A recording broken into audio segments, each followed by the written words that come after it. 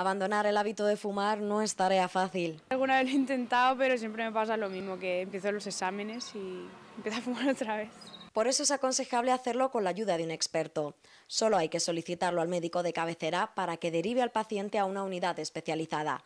Una de ellas se encuentra en la Dirección Provincial de la Consejería de Sanidad de Albacete, donde el 40% de los pacientes consiguen superar la adicción durante el primer año. A lo largo de nuestra vida de fumadores, eh, hacemos del cigarrillo un compañero que nos acompaña en un montón de circunstancias y de situaciones de nuestra vida cotidiana. Entonces le damos una función en nuestra vida, tiene un peso. Hay que identificar ese papel que juega en el día a día del fumador para aprender a vivir esas situaciones sin el cigarrillo. Algunos lo han conseguido gracias a terapias alternativas. Comiendo pipas. en 10 minutos y con 25.000 pesetas por hipnosis.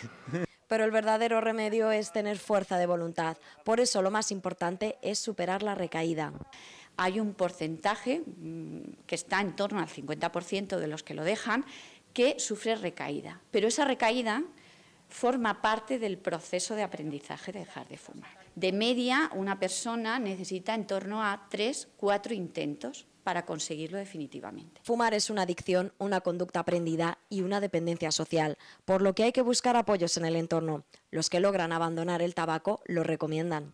Que lo deje, que no diga uno, cuando como, uno al No, no, no, que lo deje y punto. La verdad es que uno se siente mejor en tema de salud y económico sobre todo, porque económico se lleva bastante. Es que lo notas en todo, en la piel, en el olfato, en el sabor, en todo. Merece la pena. Más de 400 personas se han beneficiado de las terapias que imparten en la unidad de abordaje del tabaco de Albacete. Casi la mitad han conseguido superar la adicción durante el primer año.